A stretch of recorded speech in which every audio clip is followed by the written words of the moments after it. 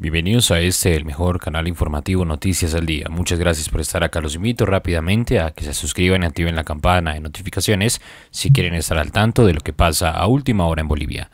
La justicia de Bolivia decreta seis meses de prisión preventiva para el ex cívico Marco Antonio Pumari. Recuerde dejar un comentario en este video y un me gusta también para apoyar a nuestro equipo investigativo. De antemano, muchas gracias.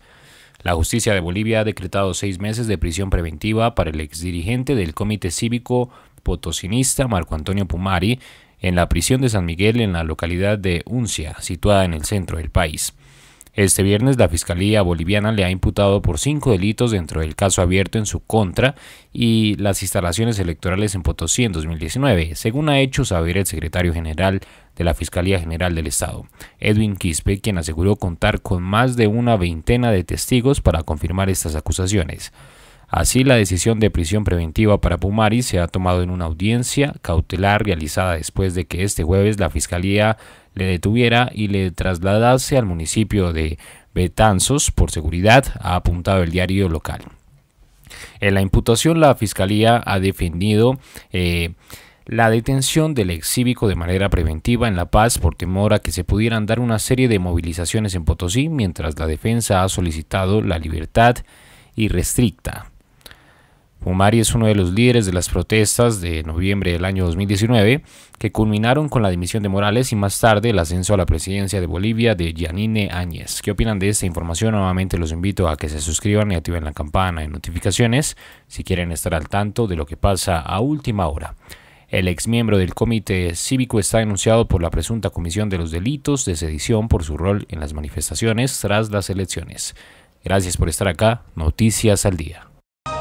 Agradecerle a usted por continuar en nuestra sintonía, 6 de la mañana, 55 minutos, momento de entrevistas para hablar acerca de la denuncia que se está realizando a nivel internacional de la masacre que se ha dado en nuestro país, tanto en Sacabas, en Cata y. Para ello, quiero darle la bienvenida. Desde Berlín, Alemania, está con nosotros la presidenta Pro Derechos Humanos de Bolivia y abogada de las víctimas, Nadesha Guevara, que está con nosotros. Doctora, un gusto tenerla en Aviala. Un saludo, Milton Guzmán, desde Estudios. Mucho gusto, Milton. Un abrazo a todos ustedes y muchos agradecimientos por la invitación. Doctora, ¿de qué se trata esta denuncia a nivel internacional que se está realizando? ¿A qué lugares van a acudir? ¿A qué organismos, por favor? Bueno, hemos estado presentes en la 72 sesión del Comité contra la donde hemos hecho presente una querella y acciones legales contra Arturo Murillo y Janine Áñez por los delitos de tortura y tratos crueles con delitos conexos, ¿no? Como desaparición forzada.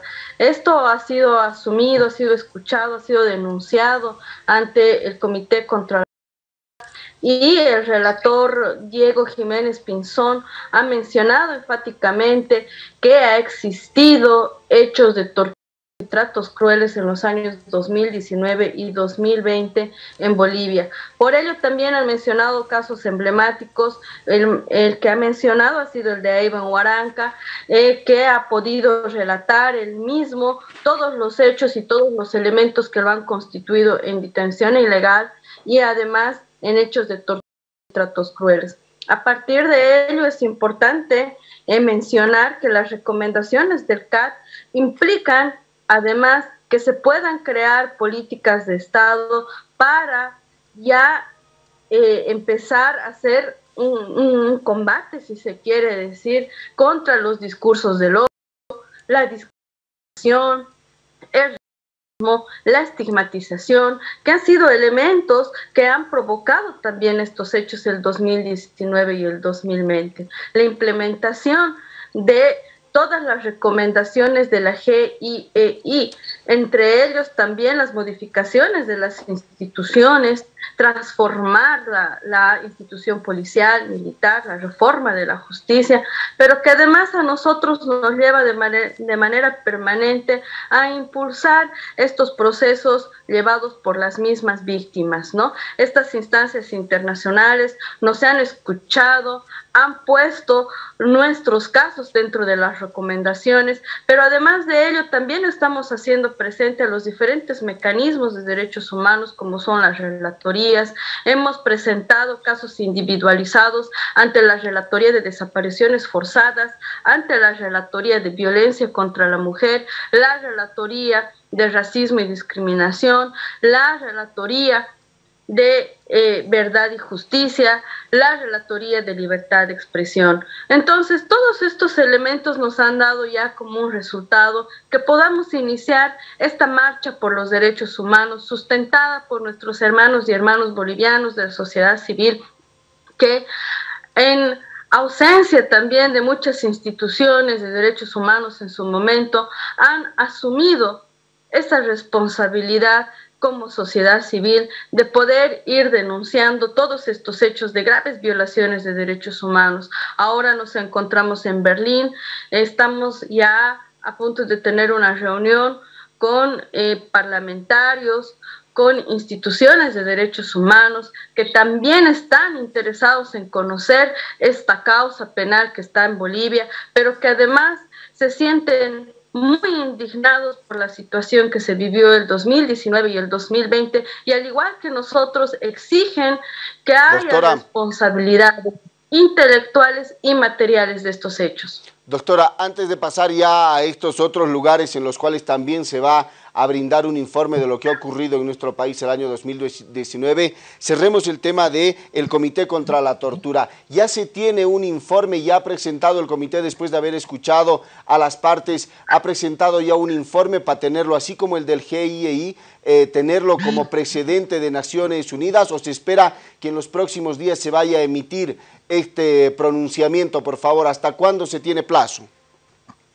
Entendemos que esto ya está en las redes, esto ya está público. Si ustedes lo buscan en la página, lo van a encontrar.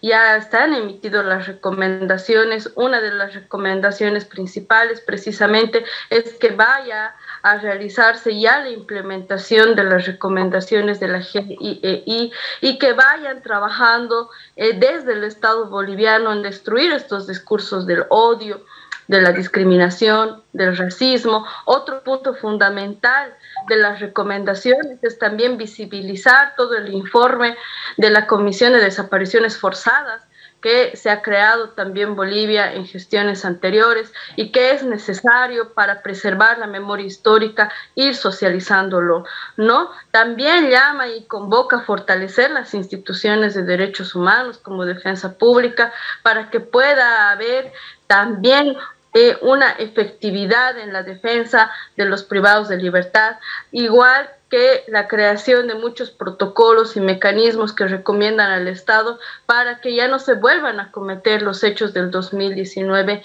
y 2020. Esas son las recomendaciones que se han emitido y nosotros como Pro Derechos Humanos Bolivia hemos presentado también un plan